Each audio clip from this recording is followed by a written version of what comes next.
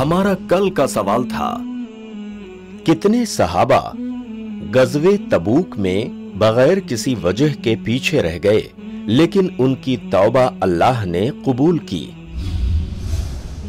इसका सही जवाब है बी, तीन। अल्हम्दुलिल्लाह, बहुत सारे लोगों ने सही जवाब दिया।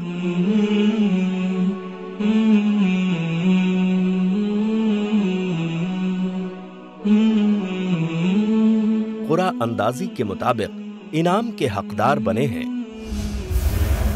इन्हें इनाम की बहुत बहुत मुबारकबाद।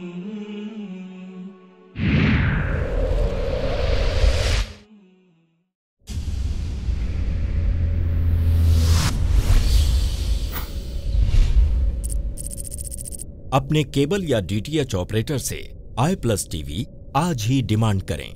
I plus TV, free to air. और इंडियन रजिस्टर्ड चैनल है।